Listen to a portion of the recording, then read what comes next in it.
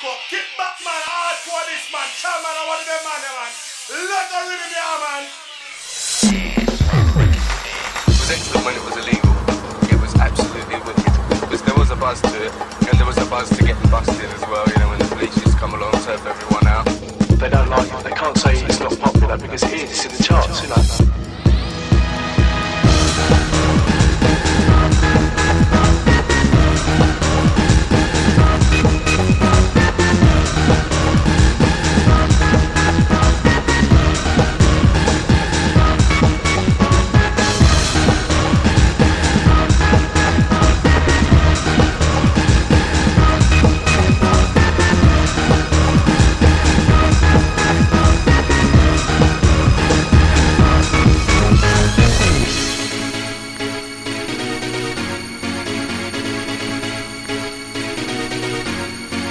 Welcome, one and all, to Jiminy's Tadcaster Volume 1.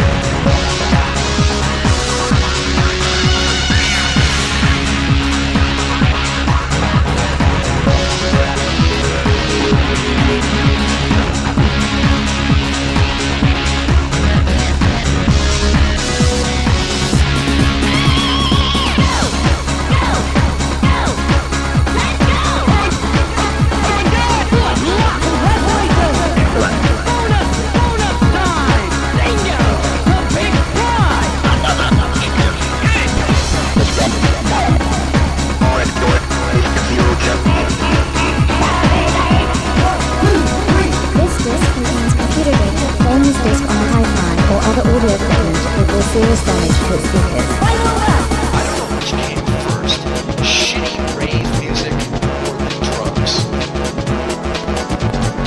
And it can sound like something different if you go,